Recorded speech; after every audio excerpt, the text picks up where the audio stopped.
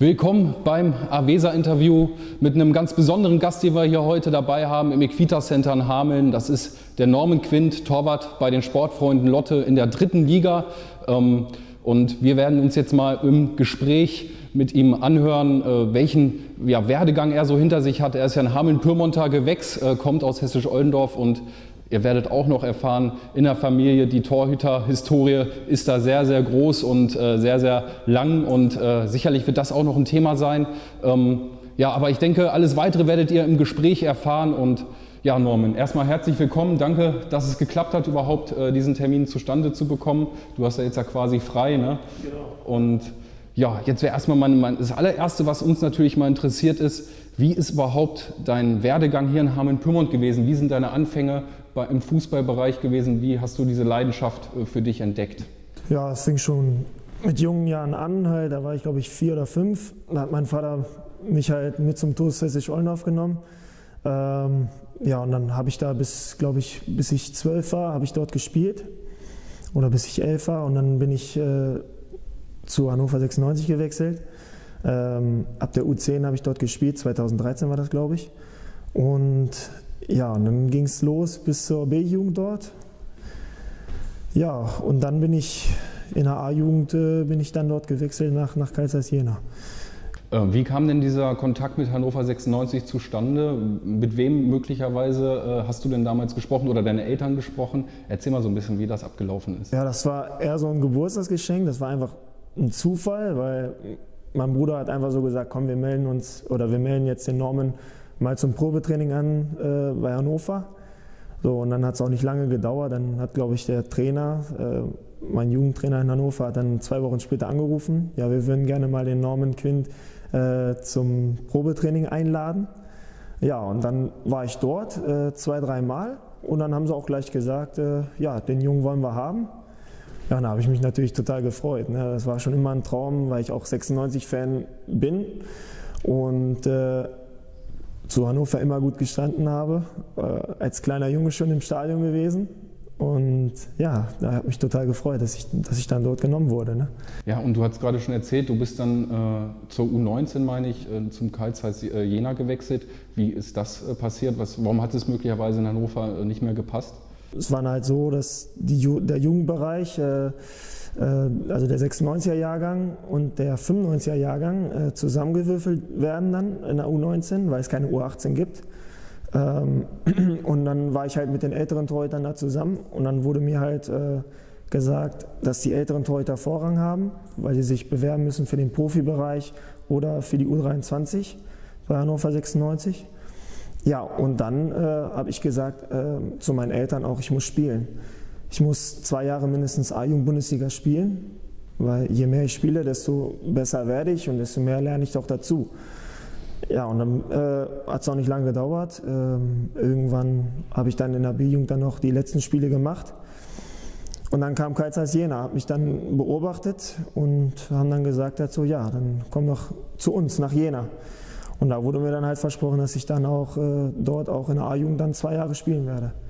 Genau. Und das ist ja doch ein sehr großer Sprung für so einen jungen, äh, für so einen äh, jungen Menschen wie dich damals. Wie war das denn für dich persönlich, diesen Sprung nach Jena zu machen? Das ist ja sehr weit weg von der Heimat.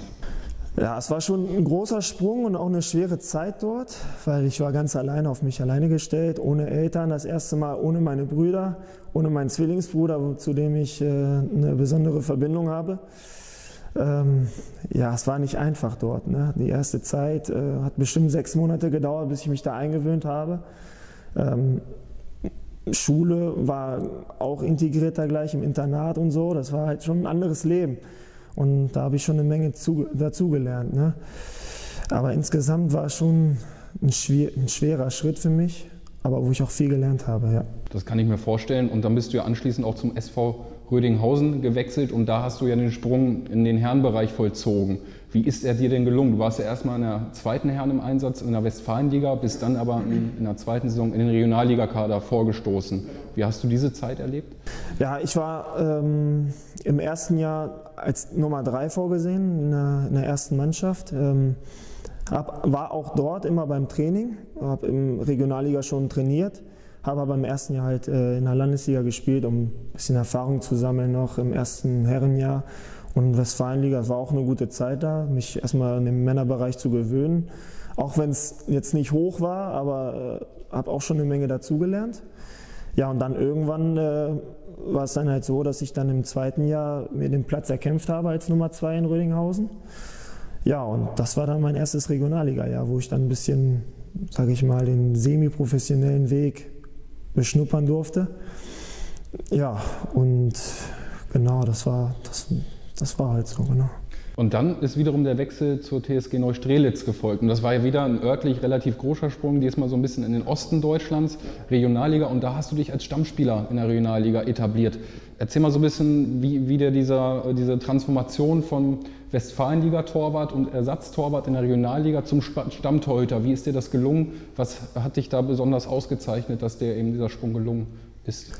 Ja, ich, äh, in Neustrelitz war es halt so, dass ich da schon, ich wollte unbedingt spielen in der Regionalliga, ich war bereit, ich war immer gut drauf, auch im Training in der Regionalliga in Rödinghausen. Rödinghausen wollte mich auch behalten, aber abgesagt, ich muss aber spielen dann. So, und äh, ich als junger Torwart, man, die Torhüter lernen nur, wenn sie spielen. So, und das gelingt mir dann nur in einer hohen, hohen Klasse zu spielen und die Erfahrung dann dort zu sammeln. Und das war dann in Neustrelitz dann halt so, dass ich mir dann den Platz erkämpft habe in der Vorbereitung. Also es war halt ein normaler Zweikampf zwischen mir und dem anderen Konkurrenten. Und ich habe mir dann halt erkämpft, so durch meine guten Leistungen. Ja, und dann habe ich dann war ich auch schon froh darüber, dass ich Regionalliga spielen durfte. Und ich habe es eigentlich auch ganz gut gemacht in, in Neustrelitz. Ne? Und man hört auch raus, du bist sehr, sehr ehrgeizig. Und du hast ja dann auch sofort den Schritt in die dritte Liga zu den Sportfreunden Lotte gewagt nach einem Jahr Neustrelitz. Ähm, und da ist natürlich, du bewegst dich von der höchsten Amateurspielklasse, sicherlich schon halb professionell, in die unterste Profiklasse. Wie drückt sich dieser Unterschied im Fußballalltag aus, dass du jetzt plötzlich Profi bist? Ja, es war schon ein anderes Gefühl, weil ähm, du hast natürlich auch äh, zwei bis dreimal die Woche hast du dann auch morgens Training. Während andere zur Arbeit müssen, gehst du halt zum Training, musst dich voll aufs Training fokussieren, musst auch äh, dafür leben halt. Ne? Und äh, das wollte ich schon immer. Und der Schritt äh, in den Profibereich ist schon immens hoch, sage ich mal, und auch anders. Das ganze Training, das, das Niveau ist schon ein Schritt höher, weil die Spieler sind schneller, ein, zwei Schritte schneller. Der Fußball äh, allgemein ist schneller und auch so das Körperliche und äh, dieser Kampf, also das ist schon eine andere Hausnummer als gegenüber Regional, der Regionalliga. Ne? Ja, das kann ich mir vorstellen. Vollzeitfußballer bist du ja dann. In der Regionalliga gibt es, gibt es sicherlich noch viele Spieler, die noch einen Job nebenbei haben bis 16 Uhr und dann eben zum Training dann erst fahren. Ähm, ja, wie hast du denn, ähm, du hast jetzt in der letzten Saison, äh, glaube ich, leider Gottes äh, keinen Einsatz gehabt. Wie hast du denn den Konkurrenzkampf mit, mit den beiden anderen Torhütern, die auch noch in deinem Alter sind? Du bist 22 Jahre alt, äh, 22 und 24 sind deine Konkurrenten. Wie hast du denn diesen Konkurrenzkampf wahrgenommen? Ja, also unser Konkurrenzkampf war, war hoch. Also wir haben uns äh, keine Luft gelassen im Training. Ähm, aber es ist halt so im Profibereich, in der Regionalliga ist halt mal so, dass dann auch mal gewechselt wird und, ähm, und in der dritten Liga im Profibereich wird dann nicht mehr so oft gewechselt. Also da ist es meistens so, der von Anfang an spielt, der spielt auch eigentlich meistens durch. Also und als Torwart musst du dann halt äh, warten, bis dann irgendwas passiert. Du hoffst natürlich nicht, dass der andere sich verletzt, aber als Torwart, äh, da gibt es halt nur eine Position und da muss, muss man auch mal warten und auch auf seine Chance hoffen. Ne? Äh, irgendwann mal irgendwie reinzurutschen und dann halt ein gutes Spiel zu machen und dann bleibst du auch höchstwahrscheinlich meistens drin, wenn du gut, gute Leistung bringst. Ne? Ja, das liegt äh, in der Natur der Sache. Ne? Wenn ja. du überzeugst, bist du erstmal drin. Ähm, ja, seid jetzt leider Gottes abgestiegen mit den Sportfreunden mit 40 Punkten, das ist in der 18 Liga sagt in der 18er Liga sagt man immer, das ist so diese Grenze, so dass man die Liga hält. Ihr seid ja. leider jetzt in der 20er Liga gewesen, so dass es dann leider Gottes nicht gereicht hat. Was war denn aus deiner Sicht ausschlaggebend, dass ihr am, am Ende jetzt absteigen musstet? Also ich glaube, die dritte Liga ist eh eine verrückte Liga, weil halt so viele Mannschaften, da sind gute Mannschaften, ähm, fast alle spielen auf dem gleichen Niveau Fußball. Es ist einfach nur die Sache halt so, wie man den Kampf angeht. Und ich glaube, letztendlich hat uns so der Kampfwille gefehlt. Ähm, deswegen glaube ich, sind wir auch abgestiegen. Ähm, ja, was soll ich sagen? Es ist halt schwer zu sagen am Ende. Es liegt ja auch noch nicht so lange zurück. Ich glaube, da wird auch erstmal noch die vereinsinterne Analyse noch so richtig äh, stattfinden, nehme ich an. Ne? Ähm, ja, wie sieht denn deine persönliche sportliche Zukunft aus? Jetzt spielst du nächsten, im nächsten Jahr wieder Regionalliga. Ähm, wie, wie, hast du dir deinen persönlichen Weg vorgestellt?